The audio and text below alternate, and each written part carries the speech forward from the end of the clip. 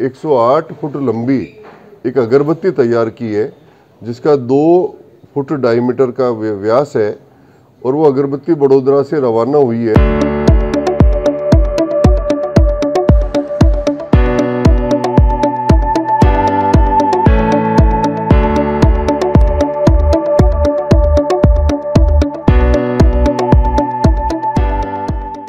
भगवान राम लला की प्राण प्रतिष्ठा को लेकर पूरे देश भर में उत्साह का वातावरण है।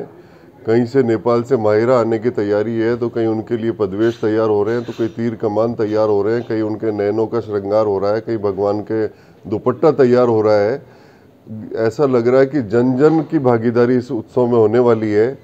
इसी कड़ी के अंदर गुजरात के बड़ोदरा शहर में एक अद्भुत प्रयोग हुआ।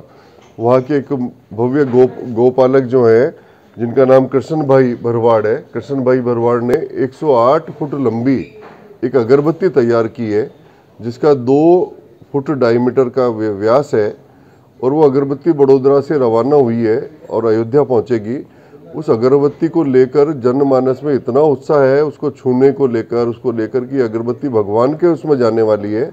इसलिए मेरा भी इसमें कहीं ना कहीं अगर मैं इसको छू भी पाया तो मैं धन्य हो जाऊँगा। ऐसा लेकर कल विजयनगर में, नसीराबाद में जिस भी मार्ग से वो जा, जा रही है उसमें बहुत स्वागत हो रहा है और सभी को अपना सौभाग्य महसूस हो रहा है उस अगरबत्ती को छूकर।